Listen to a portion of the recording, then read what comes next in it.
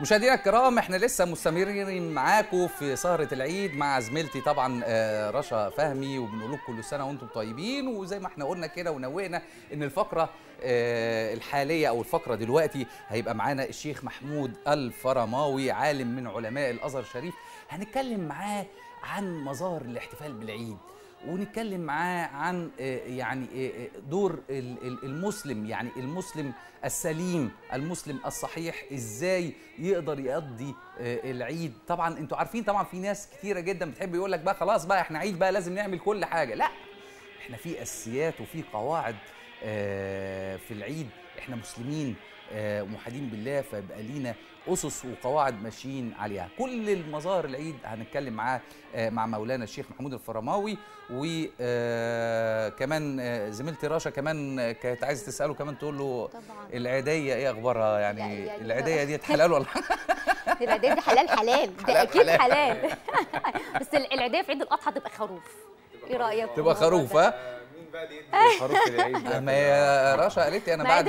بعد الحلقة أنا عايزه عاديه قلت لها من العندي قبل العنديه كل سنه وحضرتك طيب حضرتك بخير، يعني الشيخ محمود الفرماوي عالم من علماء الأزهر الأجلاء. بنرحب بيك معانا وبقول لك كل سنة وحضرتك طيب. حضرتك بخير وصحة وسلامة. النهارده إحنا في يوم عرفة وطبعا فضل يوم عرفة. خلينا نكلم الناس بقى عن فضل يوم عرفة والصيام وأجر يوم عرفة كمان. هم لسه فاطرين بقى فنقول لهم أنتوا خدتوا إيه كمان ثواب قد إيه؟ أولا الحمد لله رب العالمين والصلاة والسلام على رسول الله. يا رب إن الحمد لك والشكر لك ما دامت النعماء لك. اغفر لعبد قال لك الذنب لي والعفو لك. وصلاة وسلاما على رسول الله في مبدأ كل أمر ومنتهاه وبعد. أولا يوم عرفة له أجر كبير عند الله تبارك وتعالى. هو ربنا سبحانه وتعالى له حكمة بأن يفضل بعض الشهور على بعض. وكذلك فضل بعض الأيام على بعض فيوم عرفة يوم مفضل عند الله تبارك وتعالى وله أجر كبير آه، بالنسبة سواء للحجاج أو سواء لمن لم يستطع أن يذهب إلى الحج ففي كلتا الحالت- الحالتين له أجر كبير آه، فيوم عرفة الله تبارك وتعالى خصه بمميزات كثيرة آه، سواء كان في الحج سواء من وقف على جبل عرفات أو سواء من كان متواجد في البيت ففي كلتا الحالتين له أجر كبير. آه، وهو مظهر من مظاهر الاحتفال بال- بالعيد. آه، مظاهر الاحتفال بالعيد كثيرة جدا. آه، منها أولا يعني دايما بنقول ليس العيد لمن لبس الجديد لكن العيد لمن خاف يوم الوعيد. سيدنا أمير المؤمنين عمر بن عبد العزيز رضي الله عنه خرج في يوم العيد رضي الله عنه وأرضاه. رضي الله عنه وأرضاه. خرج في يوم العيد فوجد الأطفال الصغار أطفال الرعية يلبسون ملابس العيد الجديدة ووجد من بينهم كان ابن سيدنا عمر رضي الله عنه كان من بين هؤلاء الأطفال إلا أنه كان يلبس ملابس قديمة. فبكى سيدنا عمر بكاء شديدا حتى ذهب إليه الولد فقال له ما الذي يبكيك يا أبتاه؟ ما الذي يبكيك ونحن في يوم العيد؟ فقال له أمير المؤمنين لقد وجدت الأطفال الصغار يلبسون ملابس العيد الجديدة ووجدتك من بينهم وعليك ملابس قديمة فخفت أن ينكسر قلبك. لا إله إلا الله.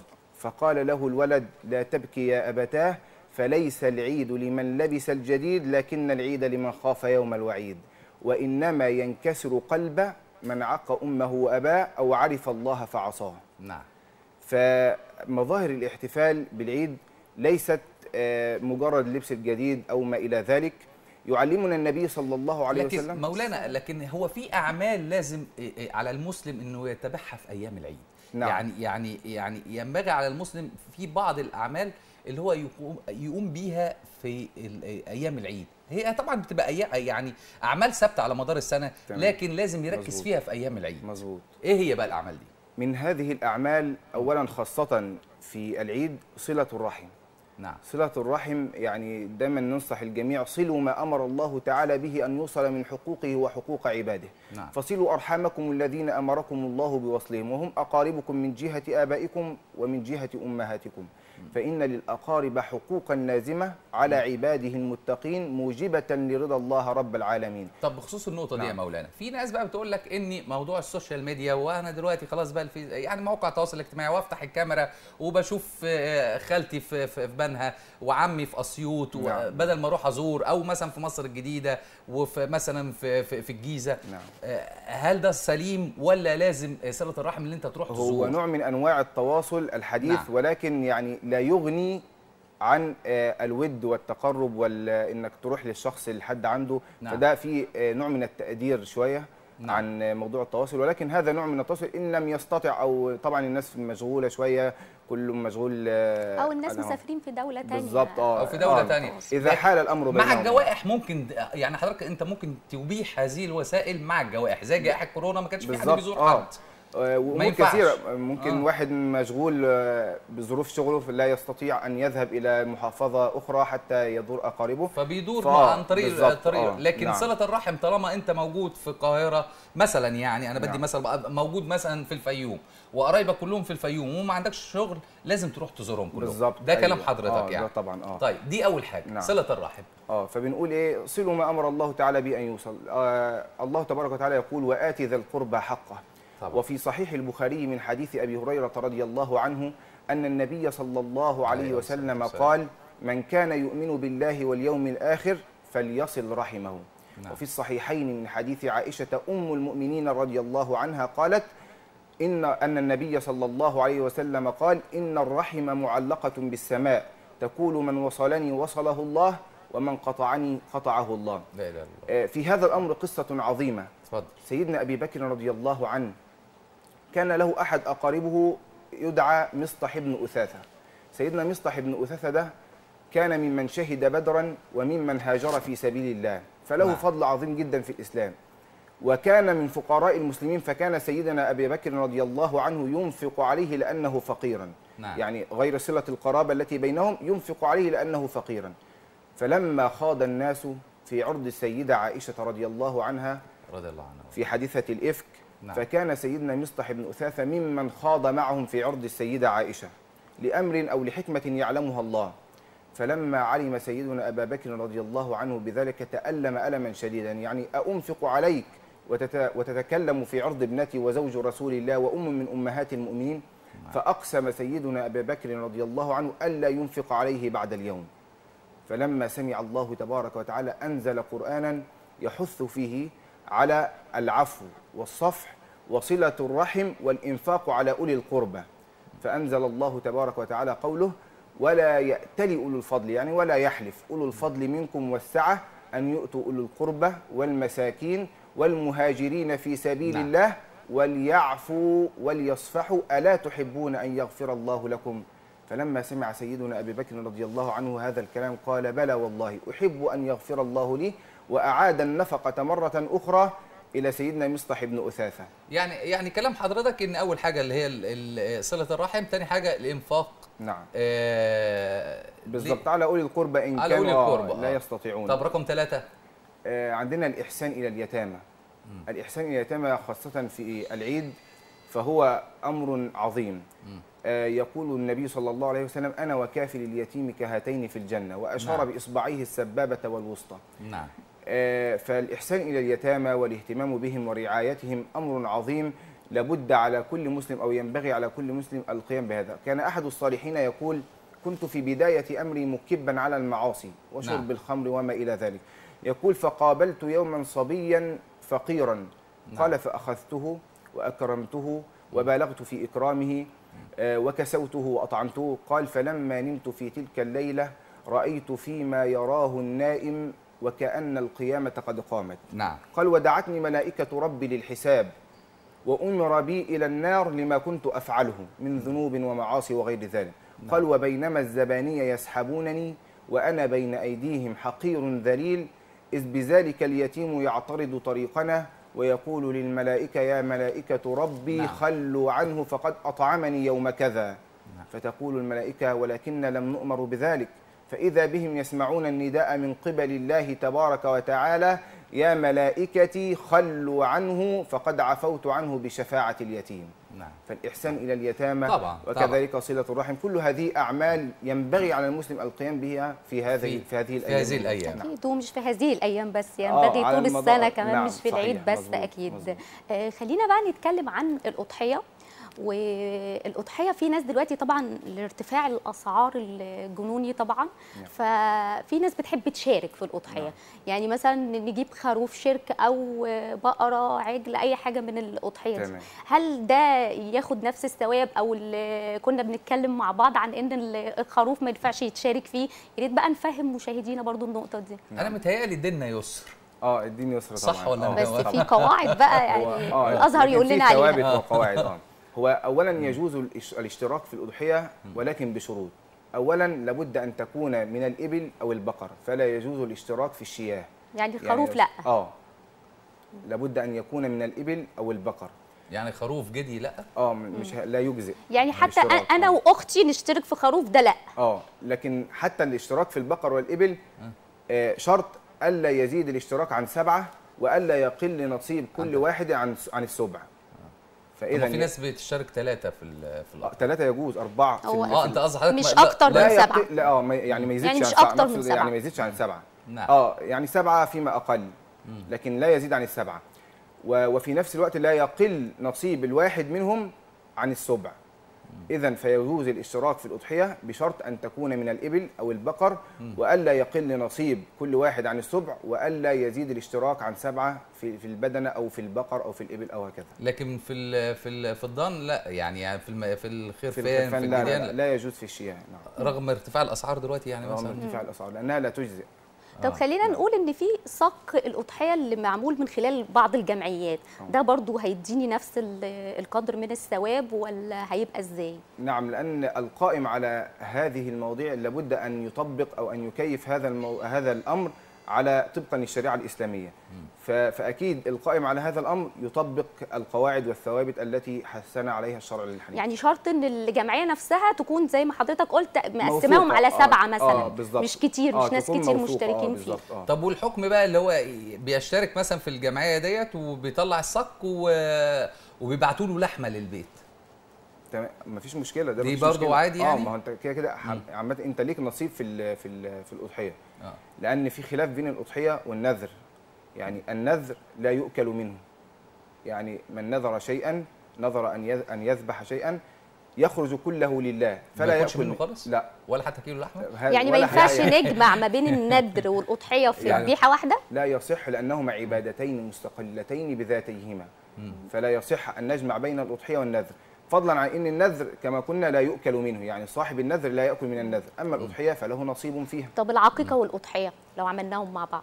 العقيقة والأضحية كذلك يعني هذا الأمر أيضا فيه تفصيل ولكن بالنسبة للعقيقة والأضحية فيجوز الجمع بينهما في حالات م- معينة أو حالات محدودة لكن يجوز الجمع بينهم. أما النذر أنا أقصد بالنذر أن النذر هو نذره لله فيخرج كله لله. لا يجوز أن يأكل منه بخلاف العقيقة وبخلاف الأضحية وما بس في ناس ذلك. بتاكل من النذر يعني. لا النذر لا يجوز الأكل منه. آه. ما هو يعني بخلاف العقيقة والضحية. آه لا يجوز الأكل منه. طب في ناس بقى اللي بتحب تضحي قبل صلاة العيد على طول. آه. هل ده ضحية ولا صدقة؟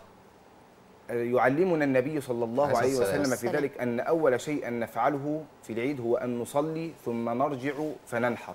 فعن البراء بن عاذب رضي الله عنه قال خطبنا رسول الله صلى الله عليه وسلم في يوم النحر. فقال إن أول ما نبدأ به في يومنا هذا أن نصلي ثم نرجع فننحر فمن فعل ذلك فقد أصاب سنتنا ومن نحر قبل الصلاة فإنما هو لحم قدمه لأهله ليس من النسك في شيء فهذا من ذبح قبل الصلاة هذا ليس من النسك في شيء إنما هو لحم قدمه صدقة. على سبيل الصدقة أو ما إلى ذلك نعم. لكن لا يجوز آه، الذبح قبل الصلاة لا يعد نسكا طب خالص. آه. المرأة بقى عليها أضحية ولو ضحت يعني تعمل نفس المراسم اللي بيعملها الرجل ولا مختلف؟ آه، المرأة أو الأضحية عامة هي سنة مؤكدة مؤكدة عن النبي صلى الله عليه وسلم. دون. تفريق بين رجل أو امرأة أو ذكر أو أنثى أو متزوجة أو غير متزوجة. هي بتسأل عشان هتضحي. آه. آه عشان عشان أصل اضحي هي أنا. بكرة الصبح هتضحي. اضحي أنا. آه. لو ما آه. فيش زوج وبضحي أنا مثلا يبقى تضحي. إيه؟ ولو في زوج تضحي. بس يشترط في وجود الزوج إذن الزوج. آه إن أنا أستأذن من جوزي الأول قبل ما بالظبط أضحي. فما فيش تفريق بين بين الرجل والمرأة في هذا الأمر. فإن استطاعت المرأة أن تضحي وكان لديها القدرة على ذلك فلتفعل ولتضحي عن نفسها وعن أهل بيتها وعن زوجها بشرط إذن زوجها. طب وفي ناس بتضحي يعني مثلا يقول لك أنا والدي توفى فأنا بضحي عشان بداله يعني بدل ما هو توفى. زي اللي بيقرأ قرآن لوالده المتوفى هل برضه يجوز موضوع الضحية؟ يعني الثواب لا. يروح له مثلا للميت؟ الثواب بيروح له يعني؟ هي الأمور هذه الأمور ترجع إلى النية ولكن الأضحية تكون عن نفسه فقط. انت يعني هتعمل إيه بكرة في العيد يا مولانا في العيد والله يعني أهم حاجة أولا زي ما قلنا صلة آه. الرحم دايما بنروح يعني انت. هتزور بكرة آه أكيد. طبعا أكيد طبعا آه. آه, يعني آه، لابد من صلة الرحم ف وال- والإحسان اليتامى طبعا آه، لكن صلة الرحم في هذه الأيام هي أهم شيء في هذه الأيام صلة الرحم خاصة في يوم العيد لأن والله هي طول السنة المفروض طول الرحم السنة- بصراحة طول السنة يعني طبعاً- طبعاً. بس هي بتزيد أكتر في العيد عشان نعيد على الناس و... نعم، نعم. ونشوف قرايبنا وكده يعني لمة العيد. حلوة لمة العيد حلوة ولبس العيد حلو خليني أسأل حضرتك برضو يعني في ناس بتتكلم عن الأضحية وبتشوفها في دول بعض دول العالم إن أنتوا ب- يعني بتعملوا مذبحة جماعية لل آه. للبواشي بتاعتكم وده غلط وما أعرفش أيوة. نقول لهم إيه نفهمهم إزاي إن الدين بتاعنا لازم دين نبين- سماحة وان إحنا آه لازم نبين حكمة المشروعية من الأضحية. آه الأضحية إيه حكمة المشروعية من الأضحية؟ اولا في المقام الأول هي إحياء لسنة أبينا إبراهيم عليه السلام. طبعا و... هذا اليوم يذكرنا بخليل الرحمن إبراهيم عليه السلام السلام. وولده إسماعيل عندما رأى في المنام أن الله يأمره بذبحه قال تعالى فلما بلغ معه السعي قال يا بني إني أرى في المنام أني أذبحك فانظر ماذا ترى. سيدنا إسماعيل لم يكن له إنما رأيت يا أبي رؤيا شيطانية وأنك كبرت وخرفت أو ما إلى ذلك ده ما فيش الكلام ده آه، خالص بصراحة بل- صح- سلم آه. نفسه بالضبط افعل ما كان في أبي. قمة الأدب والأخلاق قال لو قال يا أبت افعل ما تؤمر ستجدني إن شاء الله من الصابرين وهذه دعوة عامة لنكون بارين بآبائنا صغارا كنا أو كبارا وقضى ربك ألا تعبدوا إلا, إياه. وبالوالدين إحسانا. إما يبلغن عندك الكبر أحدهما أو أو كلاهما. فلا تكن لهما أف, ولا, تنهرهما. الإمام الحسن رضي الله عنه كان يقول لو أن هناك شيء أقل من الأف لنهانا ربنا جل وعلا أن نقولها. لوالدينا سبحان الله. وذهب خليل الرحمن إبراهيم عليه السلام لينفذ قضاء الله. إنه البلاء. بل أشد الناس بلاء كما قال النبي صلى الله عليه وسلم. أشد الناس بلاء الأنبياء. ثم الأمثل. فالأمثل فيبتلى الرجل على حسب دينه. فإن كان دينه صلبا اشتد بلاؤه. وإن كان في دينه رقة ابتلي على حسب دينه. ذهب خليل الرحمن إبراهيم عليه السلام ليذبح فلذة كبده وثمرة فؤاده فأخذ يسن السكين في الحجر حتى أن بعض الأقوال تقول أن السكين أخذت في الحجر أي قطعت في الحجر من من شدة حدتها. لا إله إلا الله. ثم أخذ سيدنا إبراهيم عليه السلام يمررها على رقبة سيدنا إسماعيل عليه السلام فلم تأخذ في رقبته. حتى أنه ورد في بعض الأخبار أن نبي الله إبراهيم عليه السلام رمى بالسكين وقال لها قبحك الله لأنها لم تقطع في رقبة إسماعيل فأنطق الله السكين فقالت يا إبراهيم أنا بين أمرين الجليل يقول لي لا تقطعي والخليل يقول لي اقطعي وأنا من قبل الجليل لا من قبل الخليل. لا إله إلا الله. وكأن الله تبارك وتعالى يريد أن يقول لإبراهيم لا تتعجب يا إبراهيم. فكما أنني سلبت من النار خاصية الإحراق وقلت لها كوني بردا وسلاما سلام. على إبراهيم نعم. فها أنا اليوم أقول للسكين كوني بردا وسلاما على إسماعيل وإذا بالسماء تعلن حالة الطوارئ وينزل سفير الأنبياء أمين الوحي جبريل عليه السلام ينزل بالفداء وكأن الكل يهتف ويقول الله أكبر الله أكبر الله أكبر لا إله إلا الله الله أكبر الله أكبر ولله الحمد ونزل بالفداء وناديناه أي يا إبراهيم قد صدقت الرؤيا إن كذلك نجزي المحسنين. حتى بعض الشعراء أنشد في هذه القصة أبياتا. كان يقول أرأيتم قلبا أبويا يتقبل أمرا يأباه؟ أرأيتم ابنا يتلقى أمرا بالذبح ويرضاه. ويجيب الابن بلا فزع افعل ما تؤمر أبتاه لن أعصي لله أمرا من يعصي يوما مولاه. واستل الوالد سكينا واستسلم ابن لرضاه ألقاه برفق لجبين كي لا تتلقى عيناه وتهز الكون ضرعاه ودعاء يقبله الله تتضرع للرب الأعلى أرض وسماء ومياه ويجيب الحق ورحمته سبقت في فضل عطاياه صدقت الرؤيا لا تحزن يا إبراهيم فديناه الله عليك يا مولانا الله الله عليك يعزك. والله يعزك وكل سنة طيب يا مولانا يعني. أقول إيه حضرتك نورتنا الله يعزك وشرفتنا شرف وكل والله. وحضرتك طيب الله يعزك الله يعزك. وعيد سعيد بإذن الله سعيد على الأمة كلها الأمة أجمعين إن شاء الله رشا نخرج.